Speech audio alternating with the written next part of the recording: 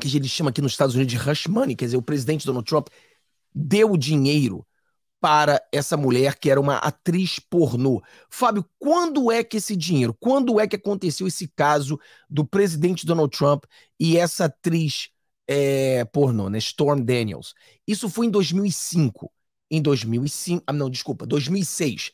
2006, o presidente Donald Trump então ele fazia aqueles shows, né? Que ele montou um show, negócio de, de, de luta livre, toda aquela coisa toda.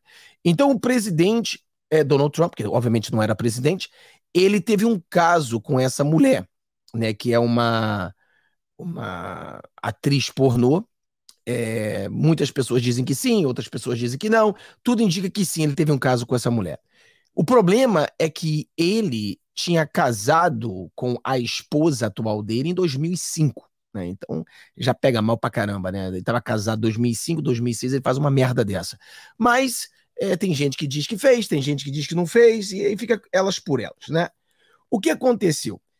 Nessa época aí, 2006, quando supostamente ele dormiu com essa atriz pornô, essa atriz, ela tentou sair, né, e tentar arrumar algum dinheiro com ele, né? Tipo, ó, se você não.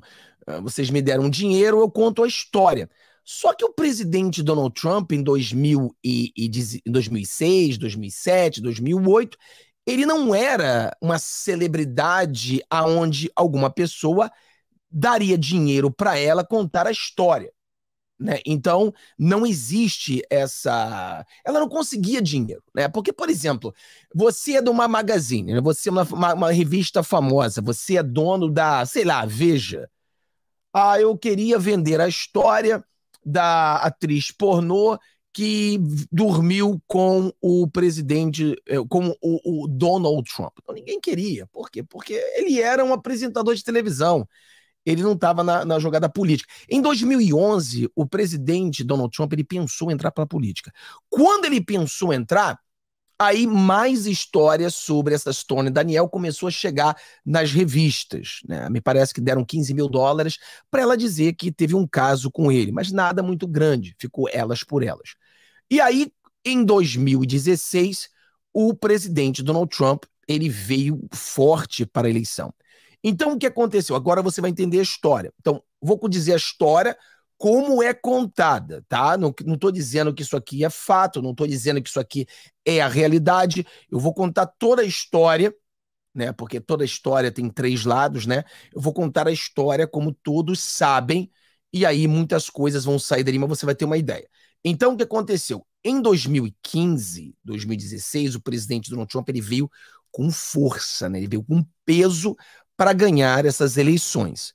Então, quando ele era candidato, aí você já queima a sua imagem. Se você é um carinha, um cidadão comum, é aquela coisa, né? O cara é casado, ele poderia queimar a imagem dele perante a esposa, mas ele não tem uma imagem perante a sociedade, ninguém vai votar nele. Mas quando ele veio para presidente dos Estados Unidos, aí aonde surgiu, surgiu a ideia do Rush Money. Então eu vou fazer um contrato com a Stormy Daniels, eu vou te dar 135 mil dólares para você não contar para ninguém que nós tivemos um caso. Entendeu? Então, por exemplo, teve, não teve, aí é uma briga que existe, você pode acreditar que ele dormiu com ela, você pode acreditar que ele não dormiu com ela, cada um acredita no que quiser. Eu estou contando a história geral. A história é que sim, ele pegou 135 mil dólares e deu para essa mulher para que ela não abrisse a boca. Um contrato, é um contrato entre ele e essa mulher. Isso ali em 2016. Por quê? Porque se ela abrisse a boca, poderia eh, fazer um damage na sua na sua política, na sua carreira política. Então ele teve que pagar esse dinheiro para ela ficar quieta. Então tudo aí. Aí mesmo pagando o dinheiro, a história veio à tona. E como a história veio à tona, o presidente Donald Trump então quis é, processá-la, né? Porque com um contrato entre os dois, ela não poderia dizer o que aconteceu. Então, quando ela começou a contar, então começou tudo isso. Então, agora você sabe da onde saiu a história. Então, você já sabe uma ideia. Esse é o ponto um de onde tudo começou. O presidente Donald Trump ele foi eleito presidente, ficou no, no, na presidência por quatro anos, fez um trabalho muito bom nos Estados Unidos. A economia bombou, as coisas funcionaram da maneira que deveriam funcionar. Tivemos a pandemia. Se não fosse a pandemia, o presidente Donald Trump teria ganho essas eleições, mesmo com toda a força do globalista, com tudo que o globalista tem, ele teria ganho essas eleições. E perdeu as eleições para o Biden e agora ele se tornou candidato a presidência mais uma vez. E agora, como candidato, ele é uma ameaça a ganhar mais uma vez. Então, a tentativa é tirá-lo da jogada. Então, vamos entender. Em Nova York, nós, eu até expliquei um pouco sobre as pessoas hoje, nós tivemos o, o que a gente fala, né, o, o, o DA, o District Attorney. Nós temos o, como é que fala em português? O promotor. O promotor público de Nova York, o promotor de Nova York, é uma posição votada, né? Você vota para o promotor da, dali da sua, do, do, do, do seu local. Então, o que acontece? Nós temos o George Soros, a desgraça desse globalista chamado George Soros. O George Soros, ele tem a mão em todo lugar que você vê globalismo, tem a mão do George Soros, né? Por exemplo, quando o Flávio Dino foi lá na, na, na favela no Rio de Janeiro, é, o, a Open Society, que ele supostamente disse que foi visitar, ou que tinha um caso, alguma coisa ali entre eles, a Open Society é uma das organizações que nada mais, nada menos são apoiadas pelo George Soros. O George Soros, para destruir os Estados Unidos de dentro para fora, ou fazê-lo globalista, ele apoia com dinheiro os candidatos a promotor. Então, esse promotor, por exemplo, em Nova York, foi eleito em Nova York com a ajuda do Jorge Soro. O Jorge Soro patrocinou ele. E antes desse promotor, nós tínhamos outros promotores também patrocinados por ele que desistiram de tentar prender o presidente Donald Trump porque eles acharam que não tinha um caso forte o suficiente para prendê-lo. Já esse novo promotor, ele decidiu que em sua campanha, ele disse se eleito, ele iria prender o presidente Donald Trump. E aquela coisa, a mesma coisa acontece no Brasil. Por exemplo, o, o mundo normal, o mundo justo, o mundo de justiça, você procura o crime e você prende a pessoa. O mundo do globalista, aonde é injusto, eles procuram a pessoa que eles querem prender, por exemplo, no Brasil. Eles não estão procurando o crime no Bolsonaro. Eles estão procurando o Bolsonaro. Por exemplo, quem é que eles querem prender no Brasil? Bolsonaro. Encontramos Bolsonaro? Encontramos. Essa é a pessoa que a gente quer prender? É o Bolsonaro que a gente quer prender. Então, agora que nós temos o Bolsonaro, a gente procura o crime. Tá entendendo como é que as coisas são ao contrário? Em vez deles encontrarem um crime e prender a pessoa, ele procura a pessoa. Uma vez encontra a pessoa, eles procuram um crime na vida dessa pessoa e faz a vida da pessoa desgraça até encontrar um crime. A mesma coisa com o Trump. Desde lá de 2015, quando o Trump entrou de verdade na política, eles falaram: encontramos alguém que vamos prender. Agora, vamos fazer de tudo para encontrar um crime para poder prendê-lo. Então começaram a fazer isso. Então, esse promotor, agora, como uma promessa de, de, de, de campanha, disse que iria prendê-lo. Então, agora, essa semana, o presidente Donald Trump ele tweetou dizendo: serei preso na terça-feira, amanhã. Então foi bombástico, né? Porque não saiu nas notícias, não saiu em nenhum lugar. Saiu da boca do presidente Donald Trump que ele será preso na terça-feira. O a movimentação da polícia lá em Nova York está tremenda. Estão colocando muros, barricadas, estão fazendo tudo porque realmente vai acontecer alguma coisa, ou eles acham que sim. Alguns especialistas dizem que o presidente Donald Trump ele foi avisado e por isso ele sabe. Outros dizem que o presidente Donald Trump ele tem uma ideia, mas ele não sabe exatamente quando ele será preso. Então, eu estou pesquisando aqui todos os especialistas que tem nos Estados Unidos. Estou pesquisando de esquerda, de direita, independente, todo mundo. Então, você tem é, alguns que estão dizendo que ele será preso amanhã. Você tem vários dizendo que ele ninguém sabe quando ele será preso. Alguns estão dizendo que hoje mesmo eles ouviram uma outra testemunha e por ter ouvido a última testemunha hoje, a prisão não será amanhã. Ou seja, ninguém sabe ao certo se amanhã será o dia da prisão ou não. Ninguém sabe. Mas foi o presidente Donald Trump que falou isso. E ninguém sabe ao certo também qual é o crime que eles vão colocar em cima do presidente Donald Trump. Ninguém sabe.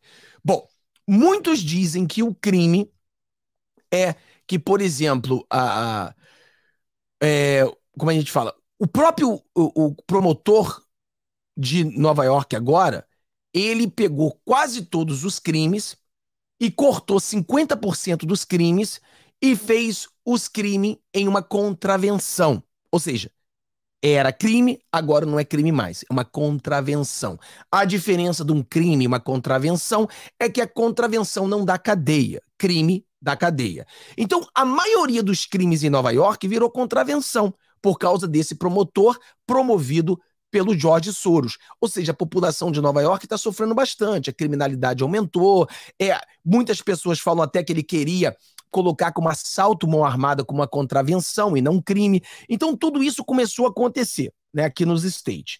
Então, é, é contravenção. Eu sempre esqueço essa palavra, vou até escrever aqui para não, não esquecer mais. Contravenção. Ele criou contravenção. Em Nova York, uma contravenção ela ela prescreve em dois anos. Também outra palavra que eu sempre esqueço em português. Eu acho que é que prescreve, né?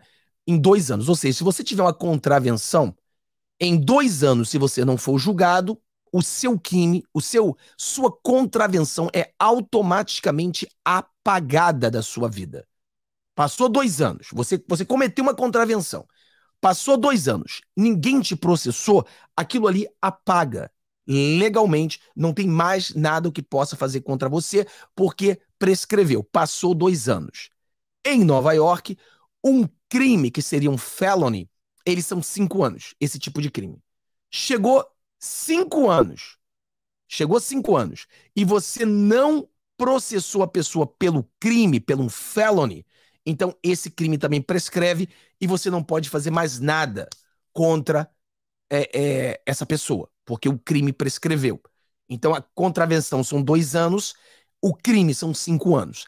Então, se isso que eles estão falando, porque tudo está se falando sobre o hush money, o dinheiro pago por essa atriz pornô, foi em 2016, ou seja, durante a campanha, então dois anos seria 2018, prescreveu, e cinco anos seria 2021, prescreveu.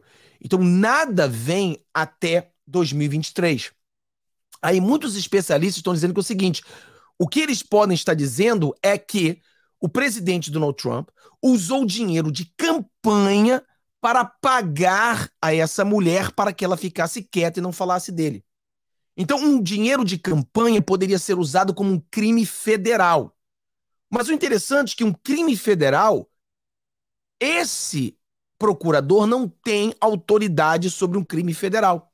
Já não é mais a área dele. Ele não poderia estar lutando contra um crime federal. Ou seja, é muito complicado, porque se foi um crime federal, se essa, se esse é o crime, não somente que ele pagou essa mulher para ela não falar nada, mas o dinheiro foi usado, dinheiro de campanha para pagar, então foi um crime federal porque foi o dinheiro de campanha, então sim não teria ainda a casa prescrição do caso. Esse caso continuaria.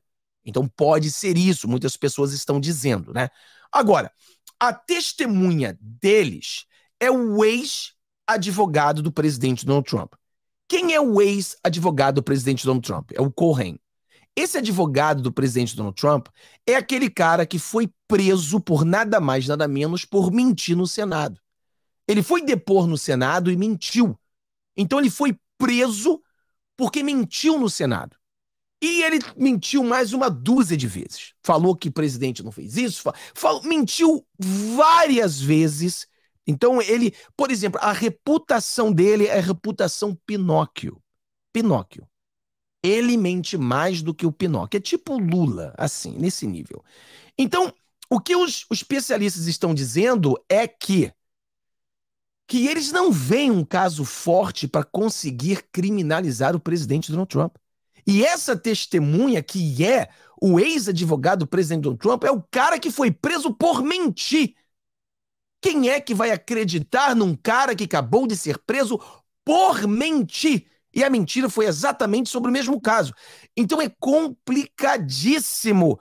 Tanto especialistas da esquerda como especialistas da direita estão dizendo que eles não conseguem ver um caso onde o Trump realmente ficará preso. Entendeu? Isso que a gente está vendo. Fábio, mas vamos lá, porque ninguém sabe o que está por trás. Vamos lá. Se o presidente realmente for preso amanhã, o que vai acontecer? Bom, vários especialistas explicaram como vai acontecer.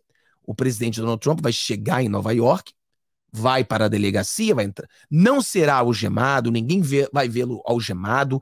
O presidente dos Estados Unidos, ainda que não é mais presidente, ele tem o que a gente chama de Secret Service, quer dizer, aquele serviço de segurança dele é o serviço do Secret Service. Eles não vão permitir que ele seja é, algemado. Então, ele será levado para a delegacia de uma forma muito segura e uma forma muito guardada, para que ninguém venha ver muito, etc. E tal. Dentro da delegacia, ele fará a impressão digital e tomará aquela foto. A foto, certamente, ninguém vai ter acesso a essa foto. E aí, depois, ele vai se apresentar a um juiz. Se apresentando a um juiz, o juiz vai perguntar: ó, o crime é, o estado de Nova York contra o presidente Donald Trump. Você play guilty ou não? Aí ele fala, we play not guilty. Quer dizer, nós vamos, não somos culpados, não sou culpado. Tá bom. Então, o advogado vai falar, então, então a gente pede que ele seja o advogado do Estado, no caso de EA, vai falar: a gente pede que o Estado prenda o presidente Donald Trump, porque ele é um cara muito rico e ele é um perigo, ele pode fugir a qualquer momento. Aí o advogado de defesa vai falar: o presidente Donald Trump é um homem honesto, ex-presidente, todos sabem onde ele mora, ele não of oferece nenhum perigo aos Estados Unidos e por isso pedimos uma é, fiança. Aí o advogado da defesa vai falar: nós pedimos a fiança tanto. Aí o juiz vai determinar quanto que essa fiança vai ser. Sei lá, um milhão de dólares, dois milhões de dólares. E aí o presidente Donald Trump será solto. Ele vai para a cidade dele. E aí começa-se a batalha jurídica, aonde o time do presidente Donald Trump vai enfrentar o time de Nova York para provar ali se ele realmente cometeu o crime ou não, para que ele venha a ser absolvido ou condenado. E claro, como, nos, como no Brasil, aqui também tem apio, apio, apio, apio. O problema é que esse caso é muito relevante, muito importante, porque eu venho falando para vocês há muito tempo que o que acontece nos Estados Unidos acontece no Brasil. Então, essa perseguição, como eles encontraram o Trump e agora estão procurando o crime, a mesma coisa. Eles já encontraram o Bolsonaro e agora estão procurando o crime em Bolsonaro. A diferença é que eu ainda acredito na justiça nos Estados Unidos. No Brasil, eu não acredito na justiça brasileira. Então, isso que nos deixa com muito mais medo no Brasil, porque no Brasil nós não temos uma justiça. Não temos justiça. Então, é muito perigoso o que a gente vê no Brasil. Já nos Estados Unidos, existe, por exemplo, você olha aquele meio, o promotor, ele é um comprado globalista, mas os juízes não são. Então você vê que o negócio começa a, a, eles tentam penetrar, mas não conseguiram penetrar totalmente ainda. Então aqui você ainda tem uma chance da justiça funcionar. No Brasil eu tenho muito medo de que essa justiça, eu já tem anos que a justiça no Brasil não funciona, né?